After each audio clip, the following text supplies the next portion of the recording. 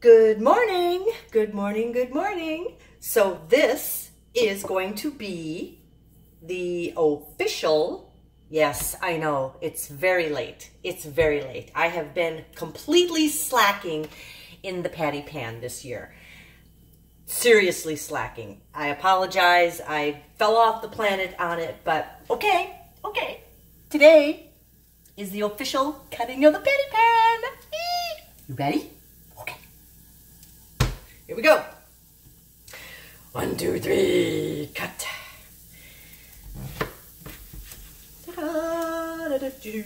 Patty pan. See? That's what it looks like. See it? Yeah. I describe it as a combination of pumpkin and zucchini. Um, it has a a very, not really hard, but it's got a very tough outside see? But the inside is very soft. Now you can cook the seeds, you cannot cook the seeds, however, whatever you want. Sometimes I do, sometimes I don't. Sometimes I save them. It don't matter. It, it's like a, it's like a zucchini, basically. So then you just cut it up. I've got some carrots over here right now sauteing in butter. Soften them up just a little bit. And then I'm going to take the patty pan and just cut it up into small little pieces, like a zucchini you would. You know, something. Now, you can eat this raw, too. This, like Just like a zucchini. You know, dip it in ranch dressing, dip it in, I don't know, whatever you like for raw vegetables, like carrots, you know. Hi, Dirt. Yes. Don't want to step on you. I don't want to step on you. Yes. Okay. I'll throw that in here. Okay. Little pepper. That would be salt. Little pepper. All right. And then mix it up in here. And, and it cooks just like a zucchini. It'll, it'll get soft. Um, patty pans do not have a lot of flavor. They're kind of bland. So you got to spice it up a little bit. Add a couple of seasonings. To whatever you'd like.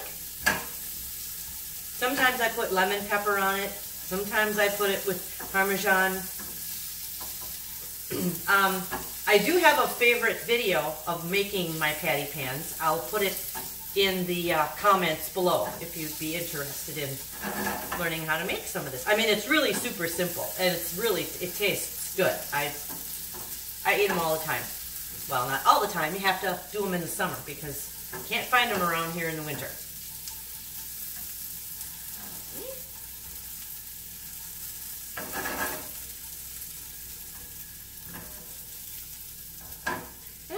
Really take too long. See, I'm already cutting it with a spatula here. See, they're already soft, so it doesn't take too long. And I don't like them mushy. I mean, that's up to you. So you cook them how you like them.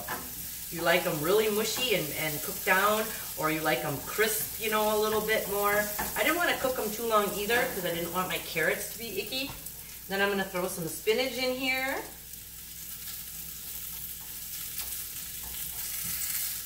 I usually put that in almost, pretty much last too because I don't like my spinach too, too cooked down either.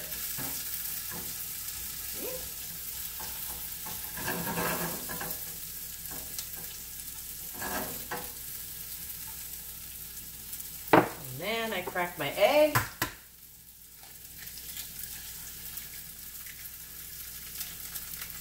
Just be messy about it. The best thing to do. Messy, tastes good. I break the yolk and then just let it cook all inside of it.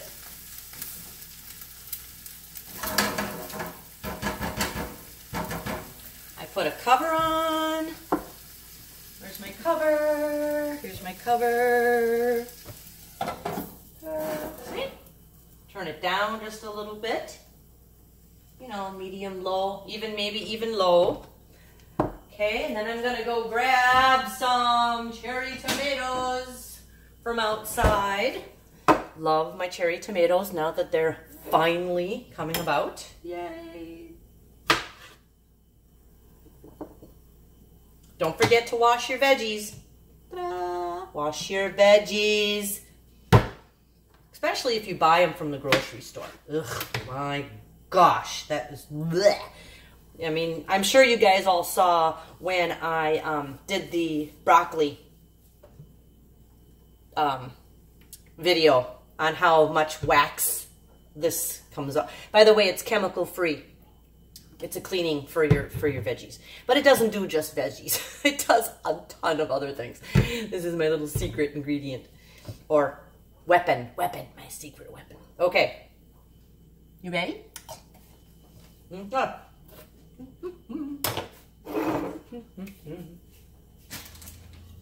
right.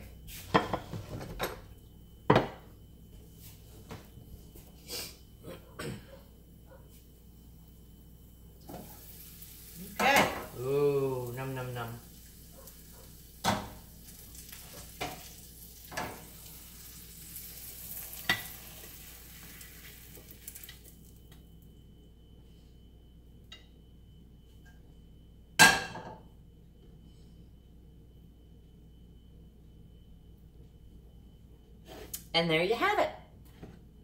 Cooking a patty pan in 10 minutes. Or, well, not really 10 minutes, but okay, there you go. All right, off to eat breakfast. Have a great day. Bye.